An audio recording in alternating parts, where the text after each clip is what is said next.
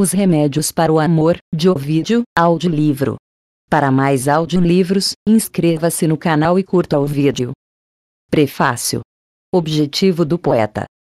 O amor, ao ler o título e o nome deste pequeno livro, disse: E a guerra, estou vendo, a guerra que estão preparando contra mim.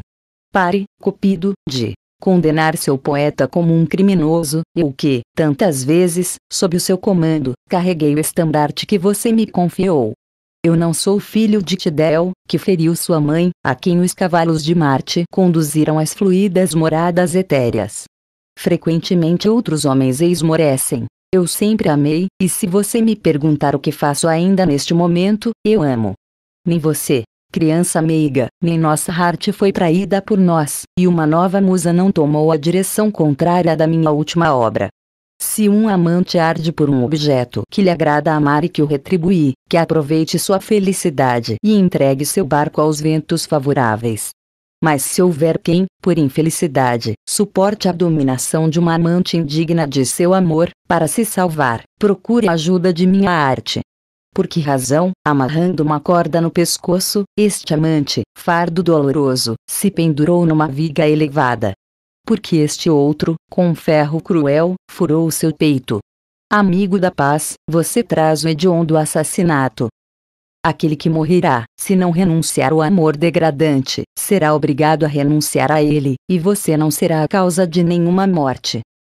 Você é uma criança, e somente as brincadeiras lhe incumbem brinque. À sua idade convém um poder sem crueldade.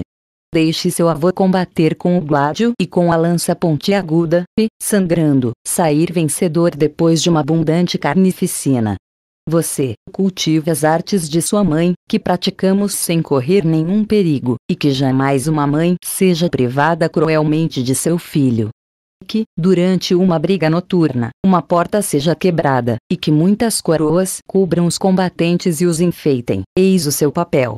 Graças a você, que os jovens e as tímidas moças se encontrem furtivamente, que, por causa de uma pequena briga, enganem um amante desconfiado, conduza um apaixonado a dizer tanto palavras doces como injúrias a uma porta inflexível, e, quando repelido, a cantar em tom lastimoso. Contente-se com essas lágrimas, e não repreenderam por uma só morte. Não, sua tocha não merece levar o fogo às fogueiras fúnebres. Tais foram as minhas palavras. O amor dourado agitou suas asas brilhantes e me disse: Leve a bom termo a nova obra que você quer escrever. Ovide convida os jovens e as jovens a ouvir suas lições. Venham às minhas aulas, jovens enganados, que no amor só encontraram decepções. Aquele que os ensinou a amar os ensinará como se curar. A mesma mão lhes trará a ferida e o remédio. A terra produz ao mesmo tempo plantas saudáveis e plantas nocivas, e muitas vezes a urtiga está ao lado da rosa. A ferida que ela causou no filho de Hércules, seu inimigo, a lança de madeira do Pélion cicatrizará. Mas tudo que eu digo aos homens se aplica também a vocês, moças, ouçam bem. Eu distribuo as armas para os campos opostos. E se isto não lhes convier, o exemplo pode, no entanto, servir de precioso ensinamento. A meta que me proponho é apagar uma chama cruel e libertar os corações de uma vergonhosa escravidão. Filis teria vencido, se ouvisse minhas lições, e, o caminho que percorreu nove vezes, ela teria percorrido mais. Agonizante, Dido não teria visto, no alto da fortaleza, as naus dos Dárdanos soltando suas velas ao vento. O ressentimento não teria dado armas a uma mãe que, contra fruto de suas entranhas, se vingou de um marido derramando sangue comum. Graças à minha arte, Tereu, por mais apaixonado que estivesse por Filômela, não teria merecido, por um crime, ser transformado em pássaro. Confie em me Parsífale. Ela deixará bem depressa de amar um touro. Confie em me, Fedra. Fedra verá fugir seu amor culpável. Tragam-me pares. Helena ficará, com Minelau, e Pérgamo, vencido, não cairá nas mãos dos Dânaos. Sila, filha, desnaturada, tivesse ela lido nosso pequeno livro, o cabelo de púrpura, niso, teria ficado sobre sua cabeça. tomando-me por guia, mortais, reprimam sombrias preocupações, e que, guiada por mim, sua barca navegue sempre reta com seus passageiros. Nazão devia ser sua leitura, quando vocês aprenderam a amar. É ainda Nazão o que, agora, deverá ser sua leitura. Para todos eu reivindico a liberdade, e quero libertar os corações submetidos à escravidão. Que cada qual colabore para sua libertação. Invocação a Fedo. Para iniciar, eu imploro. Que seu louro me inspire, Febo, você que inventou a poesia e os socorros da medicina. Assista tanto o poeta como o médico. As duas artes estão sob sua proteção tutelar. Desenvolvimento do tema. Antes de mais nada, cortar mal pela raiz. Enquanto for possível, e quando são leves os movimentos que agitam seu coração, se sentir algum desgosto, detenha seus passos logo na entrada. Mate-os.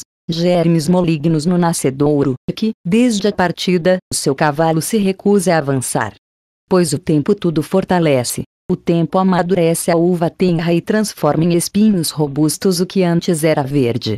A árvore que espalha ao longe suas sombras sobre os caminhantes, quando foi plantada, era uma varinha.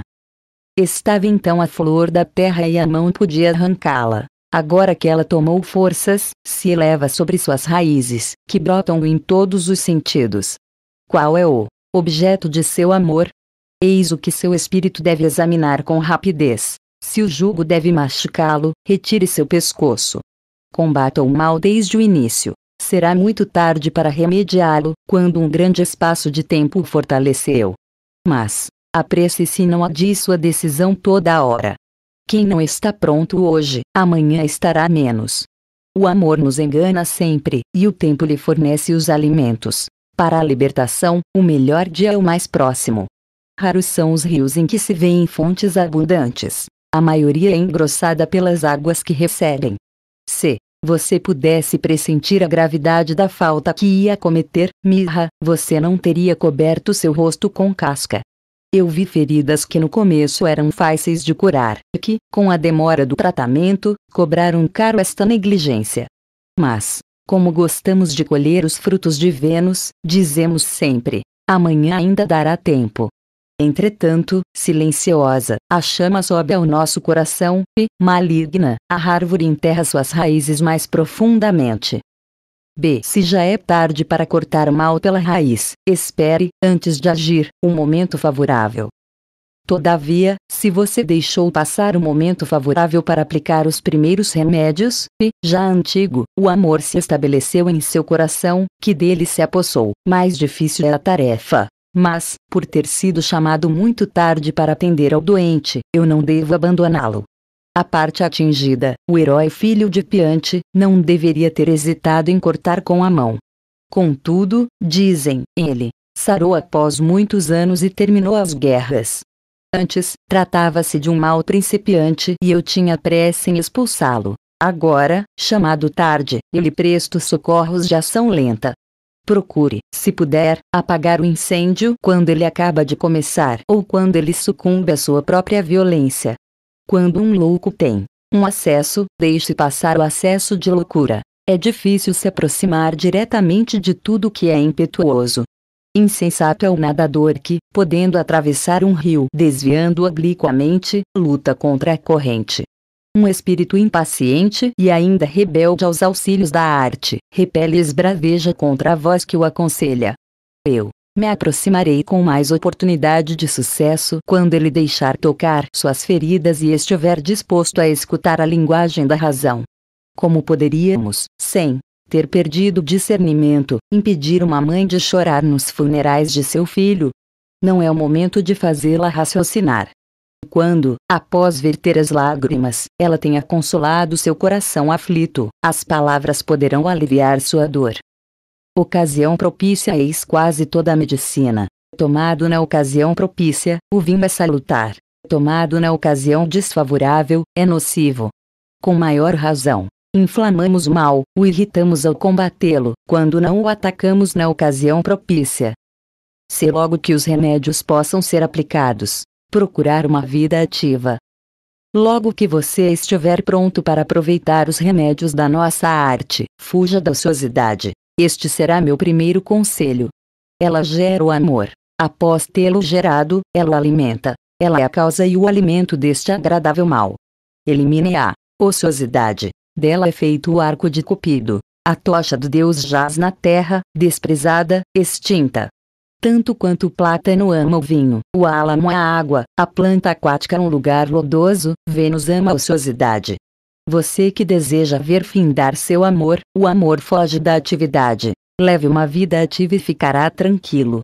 A indolência, o sono excessivo que ninguém consegue interromper, o jogo, as libações abundantes que esvaziam a cabeça, sem ferir a alma, lhe retiram toda a sua energia. Se não tomarmos cuidado, o amor desliza insidiosamente. Esta criança é companheira constante da preguiça. Detesta a atividade. Seu espírito está vazio. Dê-lhe um trabalho que a ocupe completamente. Encontrar uma ocupação em Roma. Aos tribunais, aos leis, aos amigos para defender. Frequente em Roma os que vestem a toga pacífica que traz a glória, ou então entre na carreira, tão conveniente a juventude, do cruel Marte. O amor logo fugirá. Eis que o parta. Fujam, nova ocasião para um grande triunfo, vê nas planícies as armas de César. Triunfe ao mesmo tempo das flechas de Cupido e das flechas do Espartas, e entregue um duplo troféu aos deuses da pátria. Desde que Vênus foi ferida pela lança etoliana, ela entregou a seu amante a condução de guerra. Vocês querem saber por que Egisto seduziu uma mulher casada? A razão é bem simples. Ele estava ocioso. Os outros sustentavam contra Troia uma longa guerra. A Grécia havia mandado suas forças para lá. Se ele não quisesse consagrar sua atividade à guerra, não havia nada para fazer. No fórum, Argos não conhecia nenhum processo. Não querendo ficar parado, ele fez a única coisa possível. Ele amou. Foi assim que nasceu esta criança, foi assim que ela ficou. Se dedicar à agricultura. O campo e o cultivo da terra ocupam agradavelmente o espírito. Qualquer preocupação é esquecida. Force o touro domado a colocar seu pescoço sob a canga, para que a relha do arado recurvo sulque um solo duro, Esconda na terra revolvida as sementes dadas por seres, para que o campo lhe dê grandes lucros. Veja esses ramos curvados sob o peso dos frutos. A árvore quase não consegue segurar o fardo que produziu. Veja esses riachos que correm com um doce murmúrio. Veja essas ovelhas que tosam erva abundante. Lá as cabras escalam as encostas e os rochedos escarpados. Logo elas trarão aos cabritos suas tetas cheias. O pastor acompanha seu canto com sua flauta de hastes desiguais, e naturalmente ele tem seus companheiros, os cães, tropa vigilante. Lá embaixo, as florestas profundas ressoam os mugidos e uma mãe se queixa que seu bezerro se afastou dela. E os enxames fogem da fumaça que, entrando nas colmeias, permite retirar e carregar os raios de luz que se dobram sob o peso do mel. Ó, oh, outono oferece seus frutos, o verão se enfeita com suas colheitas. A primavera oferece suas flores. O fogo ameniza os rigores do inverno. Na época certa, ó, camponês colhe a uva madura, e, sob seus pés nus, faz jorrar o vinho novo. Na época certa, ele amarra as ervas cortadas, e, com um ensino de dentes separados, varre a terra tosqueada. Você mesmo pode enfeitar com plantas seu jardim bem regado. Você mesmo pode desviar para lá os riachos de água calma. Começa a estação dos enxertos. Procure fazer com que um galho seja adotado por outro e faça brotar uma árvore coberta por uma folhagem que não é a sua. Quando esse prazer começar a seduzir o espírito, o amor, duravante sem poder, foge com asas enfraquecidas. Caçar ou pescar. Você pode ainda se entregar ao prazer da caça, Muitas vezes Vênus bateu em retirada, vergonhosamente vencida pela irmã de Fedo. Você perseguirá a lebre que sabe atrair um cão com odor sutil ou estender as suas redes sobre os cumes arborizados. Assuste de mil maneiras diferentes o cervo medroso, ou que o javali caia atravessado, de frente, por sua lança. Fatigado, à noite, você dormirá em vez de pensar numa mulher, e um pesado descanso se abaterá sobre seus membros. É uma ocupação menos ativa, mas assim mesmo uma ocupação. Procurar prender pássaros numa rede ou com caniços, recompensa bem magra, ou então esconder entre pequenos pedaços de comida um arame curvo que, para sua desgraça, o peixe voraz engolirá com avidez. É através desses meios e de outros, até que você tenha desaprendido de amar, que você deve se enganar sem perceber. De uma maneira geral, é bom deixar o lugar onde se encontra o objeto amado. Só quando mais fortes sejam as cadeias que o retêm, vá para longe e percorra longos caminhos. Você chorará. A seus lábios virá o nome da amiga que você deixa, e às vezes seu pé se deterá no meio do caminho. Mas quanto menos, você tiver vontade de partir, mais você deve pensar em partir. Persista e force seus pés a correr, apesar de não quererem.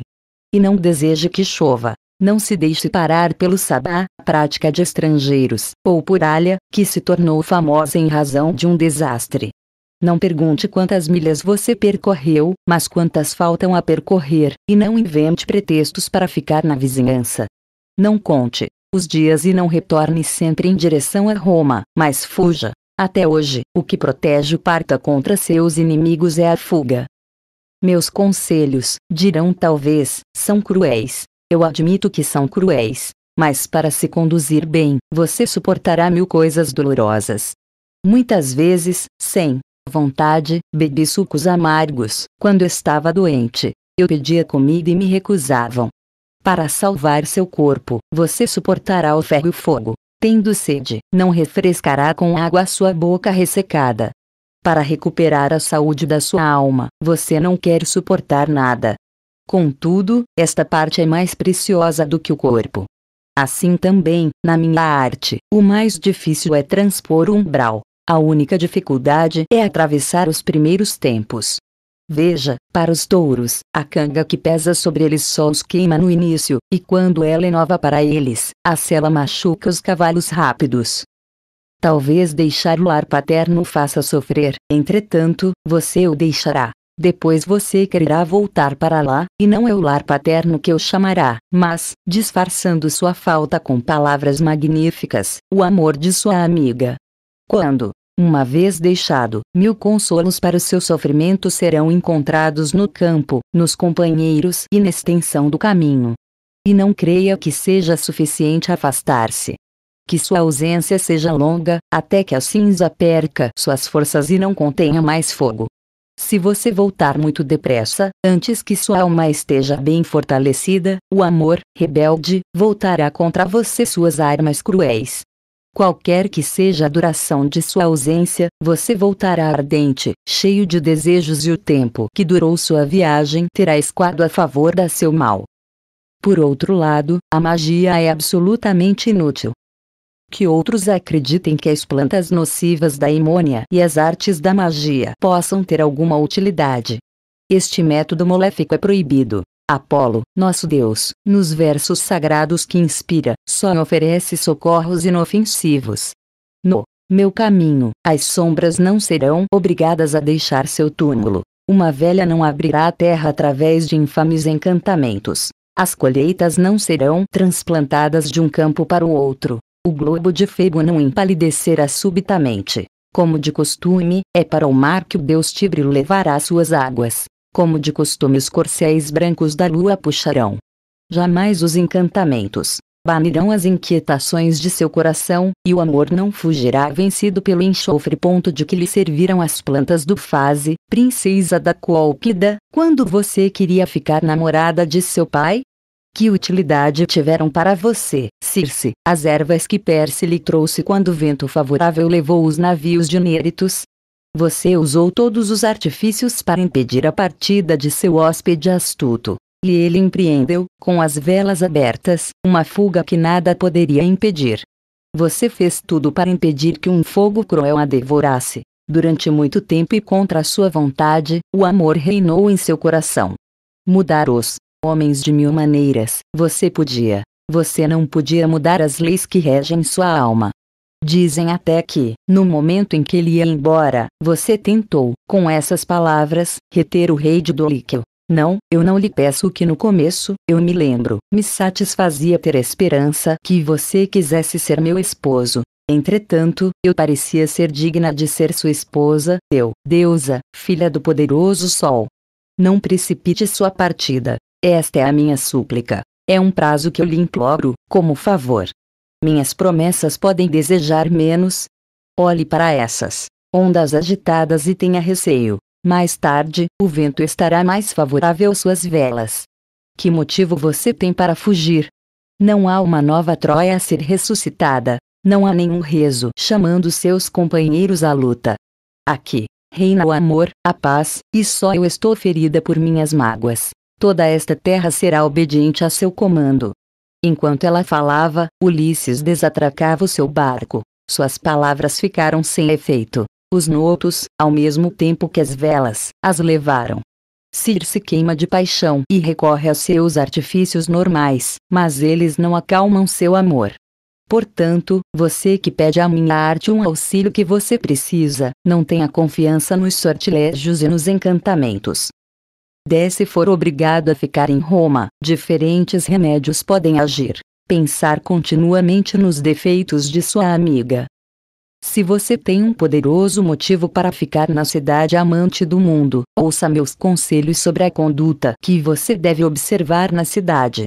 A melhor maneira de recuperar a liberdade é romper as cadeias que ferem o coração e a boa vontade para pôr fim ao seu tormento. Aquele que tiver essa coragem, eu admirarei e até mesmo direi: não há necessidade de meus conselhos, é a você que eu vejo desaprender a amar o objeto amado com dificuldade, a você que não pode e desejaria poder. É para você que se destinam minhas lições. Lembre-se com frequência dos atos de sua culpável amiga e encare de frente todo o mal que ela lhe fez. Ela tem tais e tais objetos, e, não contente de me despojar, ela me forçou, por sua avidez, a colocar um cartaz diante da minha casa, Eis o juramento que ela me fez, e, tendo feito, o violou. Quantas vezes ela me deixou deitado na frente da sua porta? Ela agrada aos outros, e faz pouco do meu amor. Infeliz. Um corretor possui as noites que ela não me concede. Que essas traições façam azedar todos os seus sentimentos para com ela. Lembre-se, procure aí os germes da raiva. E agradeça aos céus que sobre esse tema você possa ser eloquente. Sofra apenas e você saberá falar bem sem querer. Meus pensamentos, ultimamente, estavam voltados para uma mulher. Ela não correspondia aos meus sentimentos. Podalírio doente, eu me tratava com meus próprios remédios, e, confesso, como doente eu era um péssimo médico. Oh, que me consolou, foi ter perante meus olhos os defeitos da minha amiga. Eu os desprezo com frequência e me sinto bem. Como são feias, eu me dizia, as pernas da minha amiga. E, para dizer a verdade, elas não eram. Como são mal feitos os braços da minha amiga. E, para dizer a verdade, eles eram bem feitos. Como ela é baixinha. E ela não era. Quantos presentes ela pede a seu amante? Este foi o principal motivo da minha aversão por ela. Além disso, o mal é vizinho do bem. Nos enganamos e fazemos às vezes acusações contra uma virtude como faríamos contra um vício. O quanto puder, examine sob um ponto de vista desfavorável as qualidades de sua amante, e graças ao estreito limite que as separa dos defeitos, engane seu julgamento. Chame-a de balofa se ela é gorducha, e de negra, se ela é morena. A uma esbelta, podemos censurar a magreza, Podemos tratar de sem vergonha aquela que é pudica e de pudica a que é honesta. E mais, se sua amiga é desprovida de alguns talentos, empregue palavras carinhosas para pedir que elas mostre. Insista para que ela cante, se ela não tem voz. Leve-a para dançar, se ela não sabe movimentar a mão. Ela é inculta na linguagem. Faça-a conversar longamente com você. Ela não aprendeu a tocar as cordas de uma lira, Ofereça-lhe uma. Seu andar é um pouco duro, convide-a para andar. Seus seios lhe cobrem todo o busto, que nenhum espartilho esconda esse defeito. Se ela tem dentes defeituosos, conte-lhe uma história que faça rir. Ela tem os olhos frágeis. Diga-lhe alguma coisa que provoque as suas lágrimas.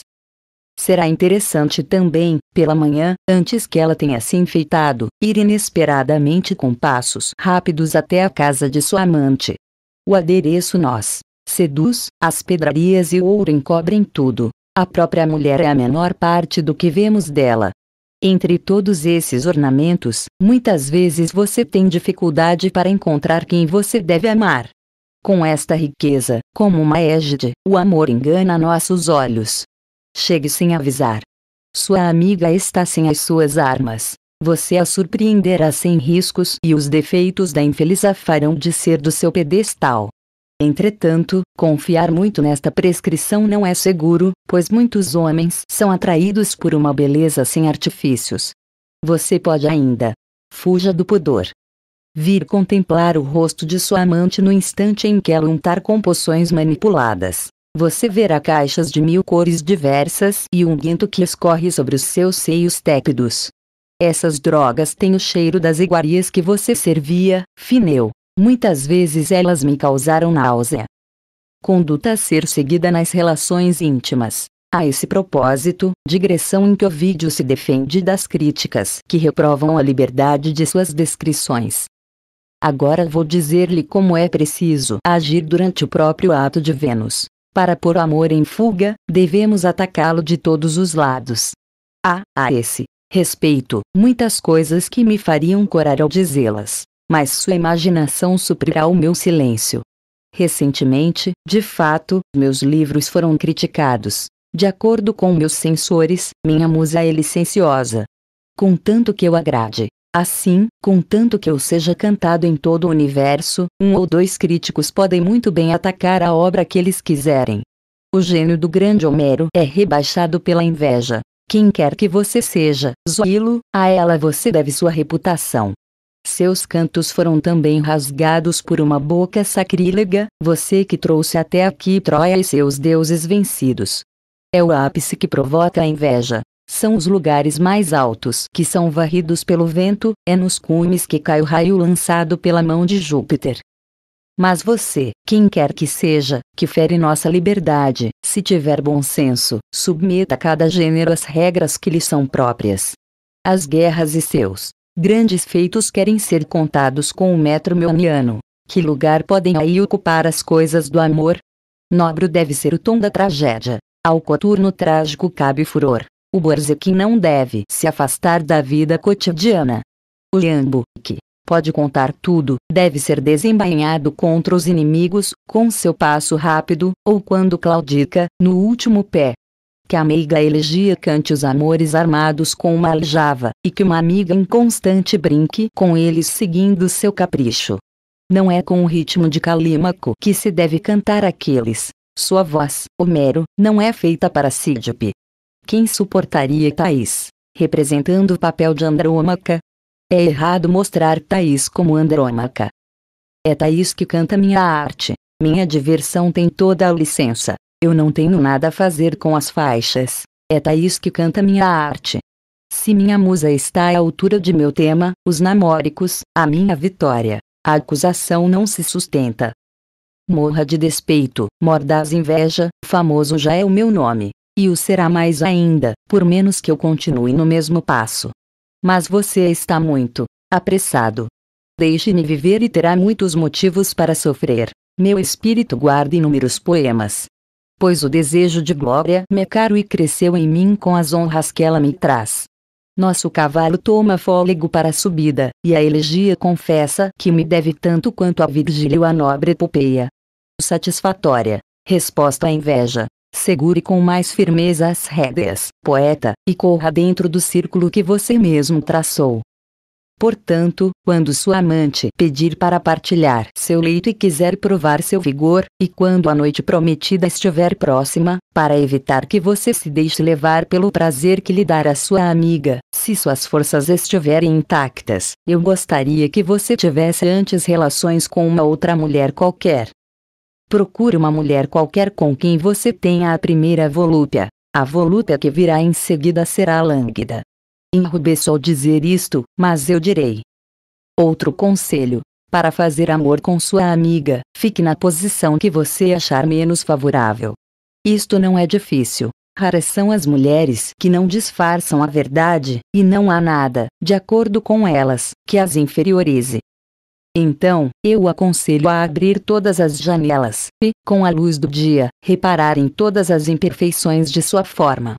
Depois, quando você tiver atingido o auge da voluptuosidade, e que a lassidão abata ao mesmo tempo o corpo e o espírito, quando surgir a repulsa, que você queira não ter nunca tocado numa mulher, e que você pense que durante muito tempo não deverá tocar em nenhuma, é o momento de anotar no seu espírito cada defeito do corpo de sua amiga e de fixar sempre os olhos nessas imperfeições.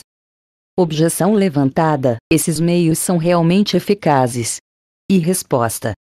Talvez alguém diga que são remédios fracos e eles o são realmente. Mas, aqueles que, isolados, não têm poder, reunidos são eficazes. Pequena é a víbora. Sua mordida mata um enorme touro. Um cão de tamanho médio às vezes pega um javali parado.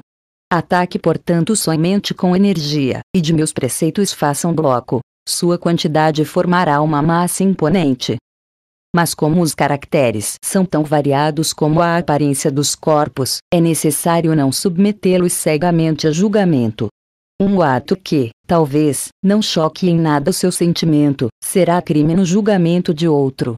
Fulano viu descobertas algumas partes que devem ser escondidas. Isto foi suficiente para que o amor se detivesse no meio do seu caminho. O mesmo aconteceu ao outro, porque no momento em que, após o ato de Vênus, sua amiga se levantou, ele viu manchas repugnantes sobre o leito sujo.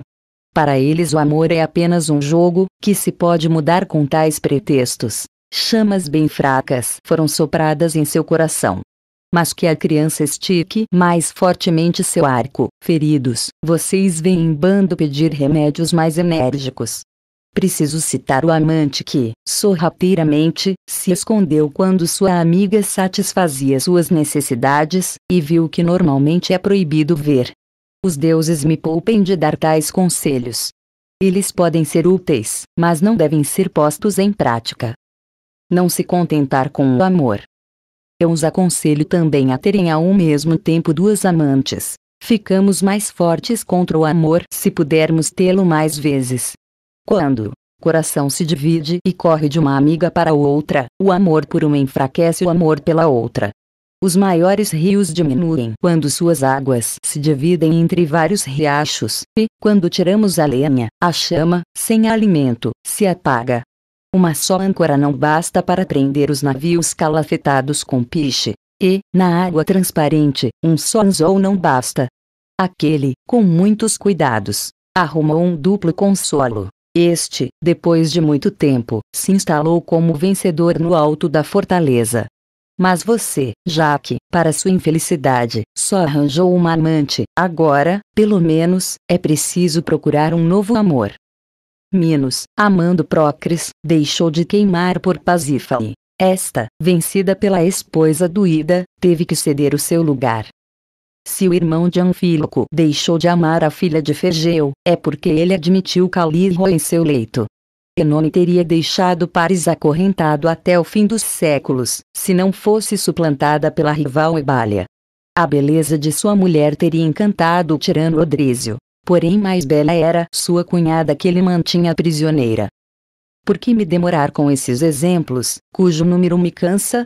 Não, Há amor que não ceda lugar a um outro amor que o substitui. Uma mãe que tem vários filhos suporta com mais coragem a morte de um deles do que aquela que exclama chorando: Eu só tinha você. E não vá pensar que eu traço novas regras, quisessem os deuses que eu tivesse a glória de inventá-las. O filho de Atrel viu, e o que não poderia ver, ele que foi o chefe da Grécia inteira. A filha de Crises tinha sido presa pelas armas dele, o vencedor amava, mas o velho pai dela ia estupidamente chorar em todo o acampamento. Por que essas lágrimas, velho odioso? Eles se entendem bem. Insensato, querendo ajudar sua filha, você a desagrada. Calcante, poderoso com o apoio de Aquiles, tinha ordenado que a devolvessem, e ela voltou para a casa de seu pai. Mas então, Ah, disse o filho de Atreu, uma beleza quase igual a Criseide, e que tem o mesmo nome, exceto a primeira sílaba. Que Aquiles, se for sábio, a entregue para mim espontaneamente. De outro modo, ele sentirá o meu poder. Se algum de vocês, aqueus, reprovar minha conduta, saberá o que é um cetro erguido com mão vigorosa. Pois se sou rei e nenhuma mulher dorme ao meu lado, prefiro que Tercitas reine em meu lugar. Disse e obteve aquela que pediu. Ela o consolou, e, expulso por um novo amor, o primeiro foi esquecido. Então, a exemplo de Agamenon, entregue-se a novas chamas, para que seu amor se divida como uma encruzilhada. Você pergunta onde encontrará. Leia o meu tratado e logo sua barca estará cheia de jovens beldades. Fingir frieza. Se meus preceitos têm algum valor, se, através da minha voz, Apolo dá aos mortais instruções úteis, quando, infortunado, você queimar como se estivesse dentro do Etna, faça parecer a sua amiga que você está mais frio do que o gelo. Finja que está curado, para que, se acaso você estiver sofrendo, ela não perceba, e ria, quando quiser chorar. Eu não lhe imponho a romper bruscamente sua ligação, não, as ordens do meu poder não são tão severas. Dissimule que não sente e haja como se sua paixão estivesse calma, assim você conseguirá fazer realmente o que for capaz. Muitas vezes, para não beber, eu fingi dormir. Fingindo, abandonei meus olhos vencidos ao sono. Ri ao ver ser apanhado um homem que fingia amar, passarinheiro que foi preso em seus próprios laços. O amor penetra nos corações com o hábito, é com o hábito que o desaprendemos. Poder fingir a cura é estar curado. Ela lhe pede para ir. Vá na noite prometida. Você foi a porta estava fechada. Não fique sentido. Não diga à porta nem palavras doces nem insultos, e não se deite sobre a soleira dura. No dia seguinte, nenhuma queixa em suas palavras, e que seu rosto não mostre nenhum sinal de sofrimento. Ela deporá bem depressa o desprezo, quando sentir sua frieza. Eis aí mais um serviço que você fica devendo à minha arte. Mas também procure se distrair e não fixe uma data para deixar de amar. Às vezes, o cavalo escoiceia contra os freios. Não pense no resultado de sua conduta. O que você não anunciar acontecerá. Quando as redes são muito visíveis, o pássaro as evita. E para impedir que sua amiga fique muito presunçosa e o despreze, tenha uma firmeza que a faça curvar-se. Sua porta, por acaso, está aberta. Mesmo que o chamem, siga em frente. O convidam para um encontro em tal noite, hesite em aceitar o convite. Encontramos facilmente o sofrimento. Quando, com um pouco de sabedoria, podemos rapidamente atingir a felicidade. Se não puder vencer o amor, procurar o seu fim na saciedade. Quem poderá achar meus preceitos severos? Vou até fazer o papel de um proxeneta. Já que os caracteres variam ao infinito, variemos nossos meios. Para mil tipos de doenças, mil tipos de remédios. Há corpos em que o ferro afiado não consegue curar completamente. Muitos encontraram auxílio no suco das plantas. Você é muito fraco, não consegue se afastar, seus grilhões o seguram e o cruel amor mantém o pé sobre sua garganta. Pare de lutar. Os ventos soprando nas velas conduzirão seu barco. Que seu remo siga a onda que o leva. É preciso acalmar esta sede que o queima e faz sofrer. Estou de acordo. Quero que de agora em diante você beba no meio do rio. Mas beba até mesmo além do que seu estômago pedir até que sua garganta esteja cheia e até que a água seja regurgitada. Desfrute de sua amiga sem parar, sem obstáculo, que ela preencha suas noites e seus dias. Procure a saciedade. A saciedade é também uma forma de cura.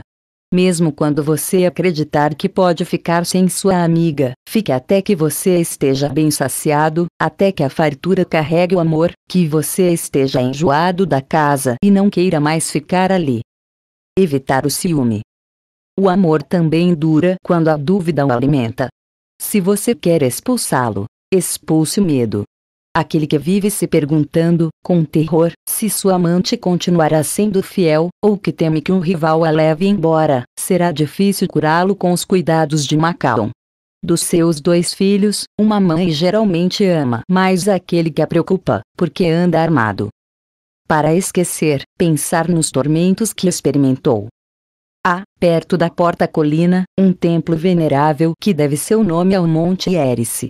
Lá reina o amor leto, que cura os corações e derrama água gelada sobre suas chamas. Lá, para pedir o esquecimento, vão os jovens, assim como as jovens apaixonadas por um homem insensível.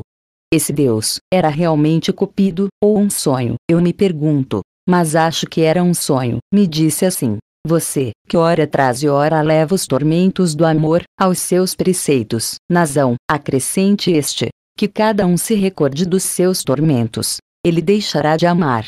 A todos a divindade concedeu muito ou pouco, aquele que teme ó, Puteal, Jano e as calendas que chegam tão depressa, que se atormente pensando no dinheiro emprestado. Quem tem um pai severo, mesmo que tudo lhe sorria, deve ter sempre diante de seus olhos a severidade desse pai. Este, outro, pobre, é casado com uma mulher cujo dote era pequeno, que ele culpe a mulher pelo rigor de sua sorte. Você tem, no campo fértil, uma vinha pródiga em vinho generoso, tema que a uva seja queimada logo que brotar. Este outro tem um navio que está voltando, que ele pense continuamente na pouca segurança das ondas e nas margens eriçadas de recifes que o ameaçam.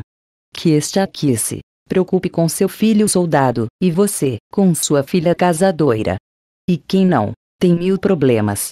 Para odiar, Pares, aquela a quem você amava, você teve que imaginar a morte de seus irmãos, ele falava ainda. Sua imagem infantil desapareceu de meu agradável sonho, se era mesmo um sonho. O que fazer? Palinur abandona seu navio no meio das ondas. Eu sou obrigado a seguir caminhos que não conheço.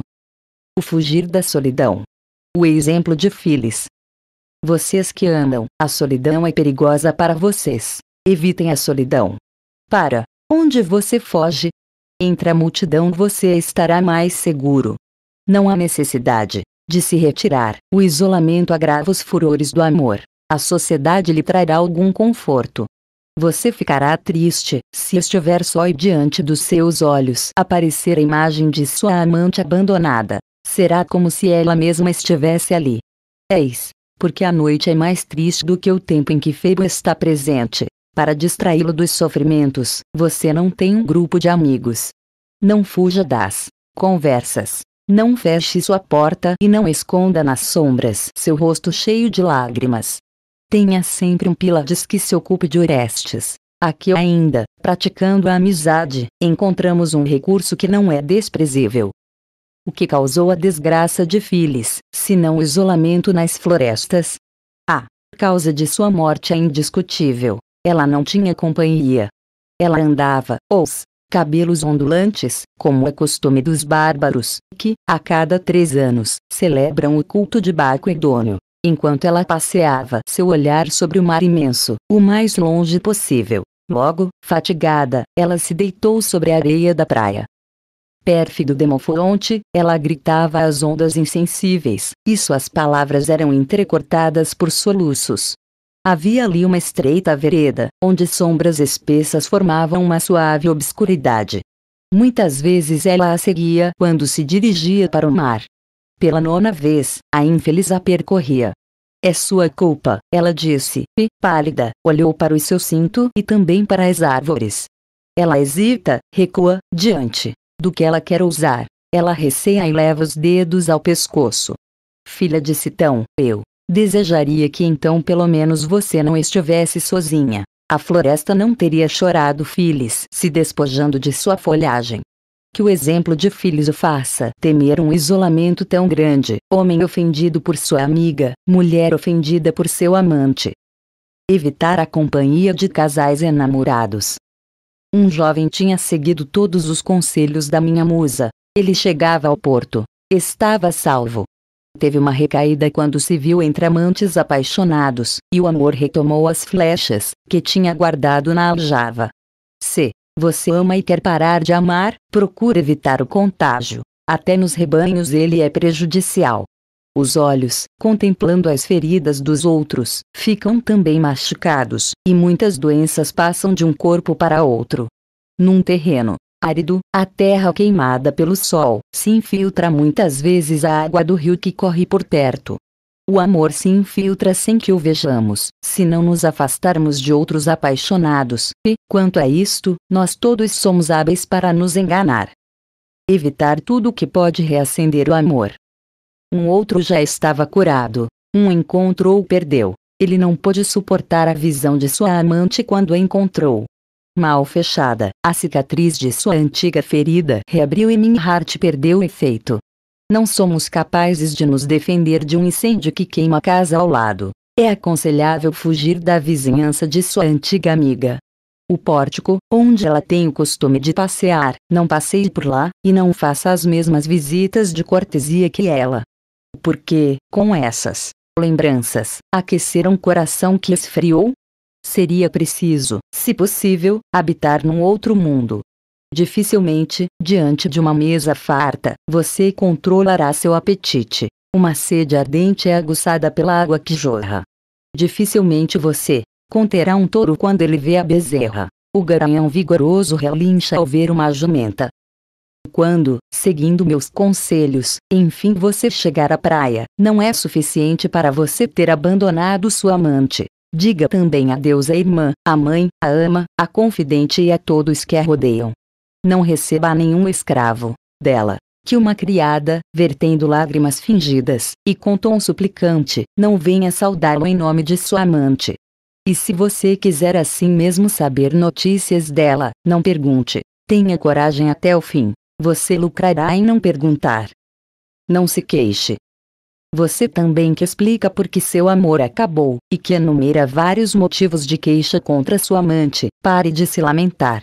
Você se vingará melhor ficando em silêncio, até que você pare de lastimá-la. Liel, preferia vê-lo calado do que dizendo que parou de amar. Quando dizemos a todo mundo, eu não amo, amamos. Sem nenhum rancor, mas é mais seguro apagar a chama aos poucos do que de repente. Cesse lentamente de amar e não terá recaídas a temer. Uma torrente é normalmente mais profunda do que um rio constante. A primeira tem água durante pouco tempo, o último sempre. Que o amor saia sutilmente, que se evapore no ar, que ele morra docemente e devagar. Mas é um crime odiar a mulher que acariciamos na véspera. Essa solução é própria para as almas ferozes. Não mais. Se dedicar a ela basta. Aquele em quem amor termina em ódio, ou ainda ama, ou terá dificuldade para deixar de sofrer. É vergonhoso ver um homem e uma mulher, ontem unidos, se tornarem bruscamente inimigos. A não aprova esse procedimento. Muitas vezes uma amante é acusada e assim mesmo é amada. Quando não há inimizade, o amor, livre de qualquer constrangimento, se afasta prontamente. Um dia presenciei um jovem perante a justiça. Sua amiga estava numa liteira. Ele soltava ameaças terríveis. Ele queria intimá-la. Que ela saia da sua liteira, disse. Ela saiu. Vendo sua amante, ele ficou mudo.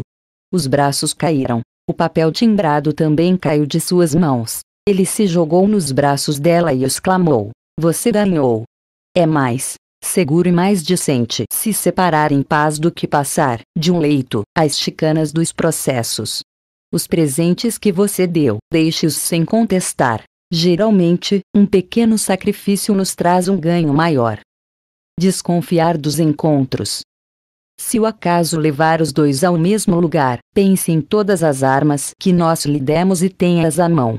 Agora você precisa de armas. É hora de mostrar toda a sua coragem. Pentesileia deve cair sob seus golpes. Pense em seu rival, pense na porta inflexível que seu amor fechou. Pense nos juramentos falsos que os deuses testemunharam. E não arrume seus cabelos para estar diante dela, e não se mostre com uma toga admirável com pregas muito amplas. Não se preocupe nada em agradar a uma pessoa que de agora em diante é uma estranha para você. Esforce-se para ver nela uma mulher qualquer saber praticar a arte da ruptura. Porém, qual é o principal obstáculo ao sucesso de nossos esforços? Eu vou lhe dizer. mas cada um deve consultar sua própria experiência. Nós rompemos, muito tarde porque esperamos ser amados. Nossa vaidade faz de nós uma trupe de crédulos. Mas você não acredite na garantia nem das palavras, há algo mais enganoso. Nem dos deuses imortais, e evite ser pego pelas lágrimas femininas. As mulheres ensinaram seus olhos a chorar. Inúmeros estratagemas atacam o coração de um amante, semelhante a um cascalho que rola levado pelas ondas do mar. Não exponha as razões que o fizeram preferir uma separação e não fale do seu sofrimento. É em segredo que você deve suportá-lo até o fim. Noa, lembre dos erros, para que ela não os justifique. Seria dar-lhe a oportunidade para mostrar que a causa dela é melhor do que a sua. Aquele que se cala é firme em seus propósitos. Aquele que cumula sua amante com acusações, pede para vê-la se defender. Não será por isso que, como rei de Dolítio, eu devo ousar mergulhar no rio as flechas que enlouquecem as tochas ardentes. Não seremos nós que cortaremos as asas brilhantes da criança, e não será minha arte que afrouxará seu arco sagrado. É a prudência que inspira meus cantos. Escutem-nos, e você, Febo curandeiro, continue a amparar minha missão. Febo ampara. Eu ouvi sua lira, eu vi suas flechas. Eu reconheci o Deus com seus símbolos. Febo me ampara. Compare sua amiga às mulheres mais belas. Compare a púrpura de Tirumalã tingida nas tinas de Amiclas. Ela lhe parecerá a mais grosseira. Você também, compare sua amiga às belas mulheres. Todos começaram a ter vergonha de sua amante. Duas deusas puderam parecer belas a pares. Mas, quando elas foram comparadas a Vênus, esta o arrebatou. Não compare apenas a aparência. Compare também o caráter e os talentos mas que seu julgamento não seja influenciado pelo amor. Evitar o que possa trazer a lembrança. Pouco importantes são os conselhos que meu verso vai dar agora, mas, apesar de sua pouca importância, eles foram úteis para muitos, em primeiro lugar para mim. Evite reler as cartas de amor de sua amante que você guardou. Almas firmes ficam abaladas quando releem tais cartas. Jogue tudo, impiedosamente no fogo, por mais que isto lhe custe, e diga: que esta seja fogueira que amortalhará um meu amor. A filha de Téstio queimou seu filho numa fogueira, embora estivesse longe dela, e você hesita em atirar as chamas palavras pérfidas. Se puder, afaste também os retratos. Porque se consumir diante de uma imagem muda? Foi assim que morreu Laodâmia. Os lugares também são às vezes perigosos. Fuja dos lugares que foram palco de suas uniões. Eles serão para você motivo de sofrimento. Ela esteve aqui. Ela deitou aqui. Nós dormimos neste leito. Foi aqui, numa noite de amor, que ela me concedeu seus favores. Essas lembranças despertam o amor. A ferida avivada se reabre. Aos enfermos a menor imprudência é perigosa. Assim, também, se de uma cinza quase apagada, você aproximar o sopro, ela renasce, e de um fogo muito fraco nascerá um muito forte. Do mesmo modo, se você não evitar tudo o que desperta o amor, você verá de novo brilhar a chama que, há alguns instantes, não existia mais. Os navios gregos teriam desejado passar longe do Cabo Cafarel, e de você, velhaco, que com seus fogos quis vingar uma morte. O marinheiro prudente se alegrou de ter ultrapassado a filha de Niso. Você, fique longe dos lugares que lhe foram muito encantadores. Que eles sejam para você as Sirtes. Evite esses rochedos acrocerálmios. É a cruel Caríbdes vomitando a água que bebeu. Evitar espetáculos e leituras. Há remédios que não podem ser impostos, mas que, quase sempre, tomados por acaso, são úteis que Fedra perque suas riquezas. Você poupará, Netuno, seu neto, e o touro enviado por um avô não espantará os cavalos. Porque nenhum homem seduziu Écale, nenhuma mulher, Iro. Sem dúvida porque este era indigente, a outra, pobre. A pobreza não tem do que alimentar o amor. Não é aliás uma razão para que você deseje ser pobre. Mas há razões para você não frequentar o teatro, antes que o amor, completamente banido de seu coração, o tenha deixado vazio. O coração é amolecido pelas cítaras, pelas flautas, pela lira, pelo canto, pelos braços com movimentos harmoniosamente cadenciados. Vemos ali dançar sem parar amantes fictícios. Com que arte um ator ensina seu público a voluptuosidade? Digo a contragosto, não toquem nos poetas eróticos. Eu mesmo, desnaturado, proscrevo meu próprio talento. Fuja de Calímaco, ele não é inimigo do amor. Como Calímaco, você é perigoso, poeta de cos. Quanto a mim eu menos, Safo me tornou mais terno para minha amiga, e a musa de Teus nunca ensinou costumes severos. Quem pode ter lido sem perigo os poemas de Tíbulo, ou os seus, o você a quem Cintia inspirou toda a obra? Quem poderá manter um coração insensível após ter lido Galo? Meus cantos também têm um pouco os mesmos sons. Não imaginar que tem um rival, se Apolo, que me serve de guia neste trabalho, não me engana, um rival é a principal causa de nossos tormentos. Portanto, você, não vá pensar que tenha um e acredite que sua amiga deite sozinha em seu leito.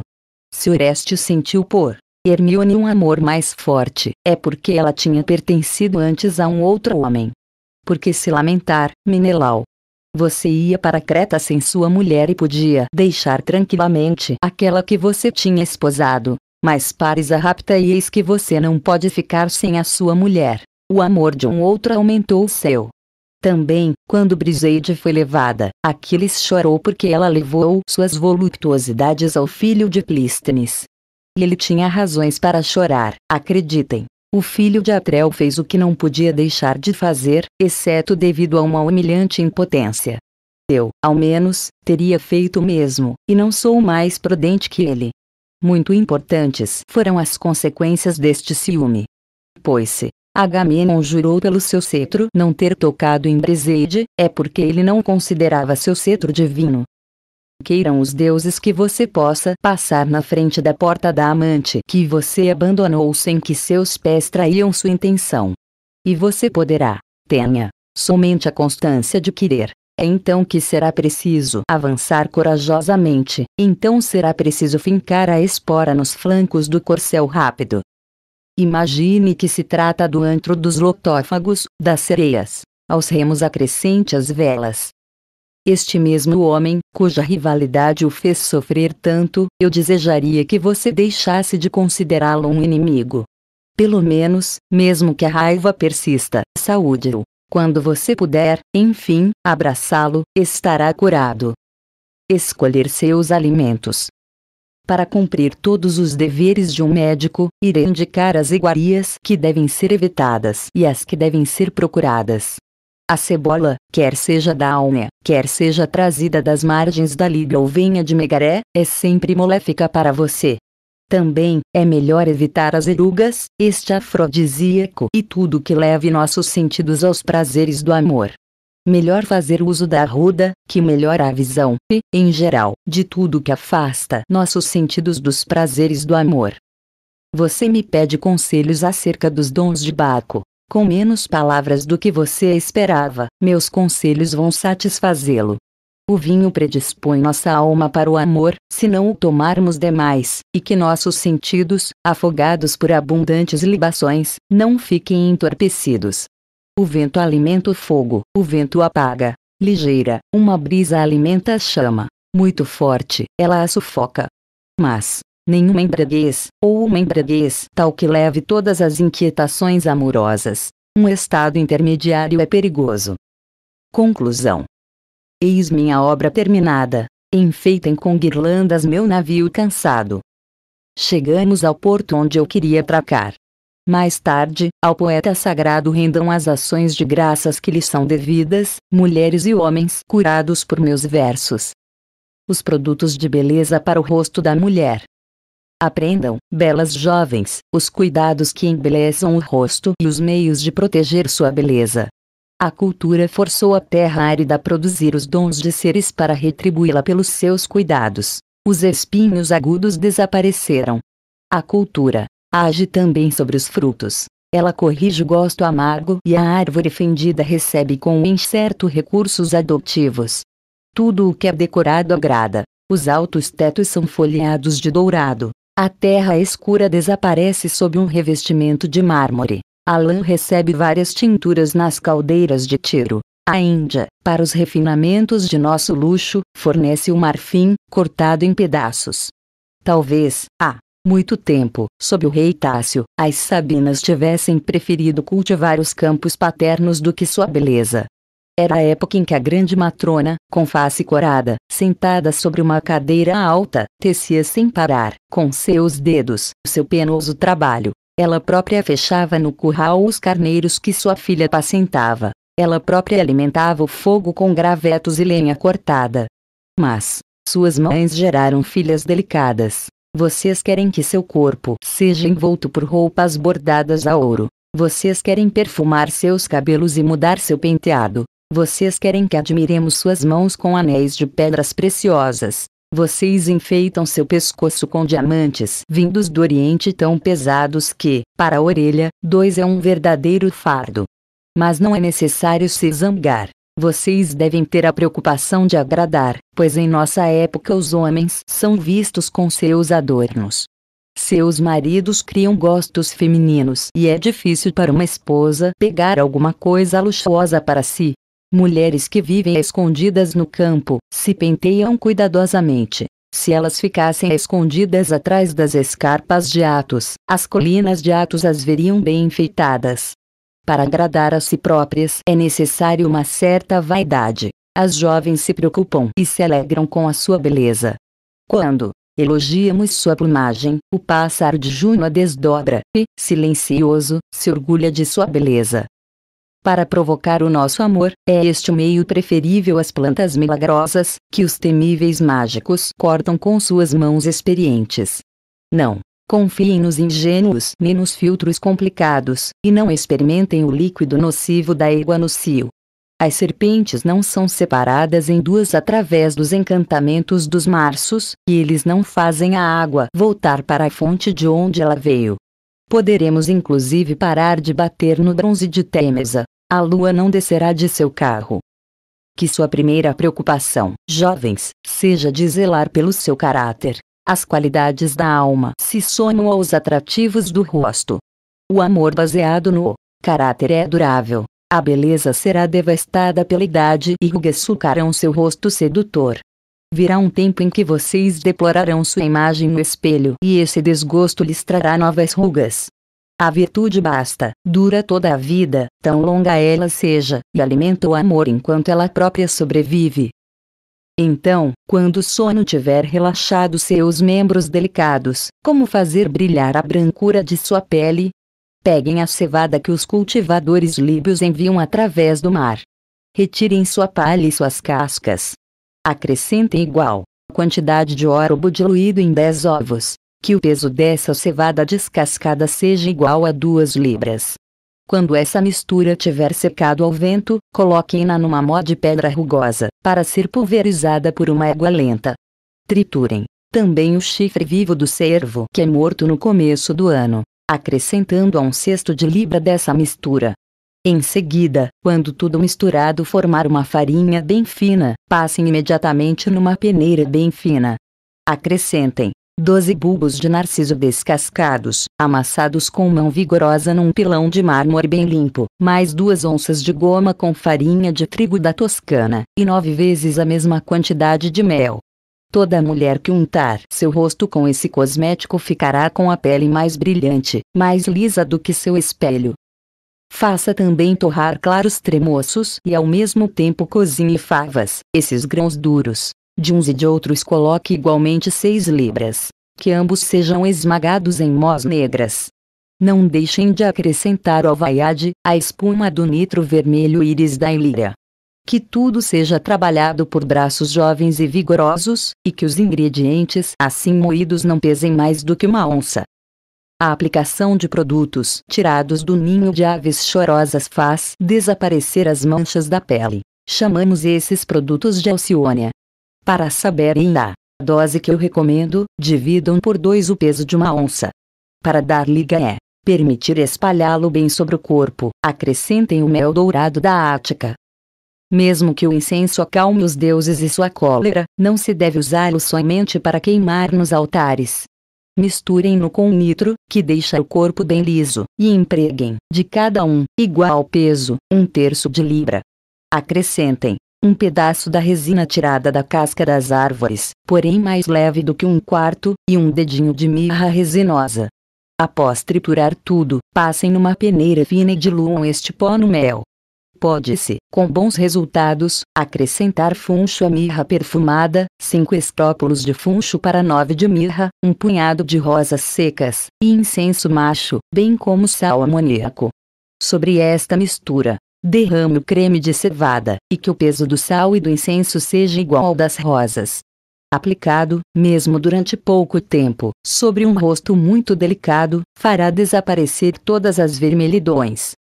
Conhecia uma mulher que molhava papoulas na água fria, as amassava e esfregava nas faces, de pele tão delicada,